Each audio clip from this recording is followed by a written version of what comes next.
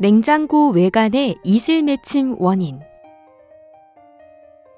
냉장고 주위의 습도가 너무 높은 날에는 공기 중의 물기가 냉장고의 차가운 면에 닿아 이슬이 맺힐 수 있습니다. 특히 비가 내리는 날이나 더운 여름 장마철에 일시적으로 냉장고 외벽에 이슬이 맺히는 현상이 많이 생길 수 있습니다. 이는 고온다습한 외부 환경 때문이며 제품 이상은 아닙니다. 마른 헝겊으로 깨끗이 닦아내고 사용하세요.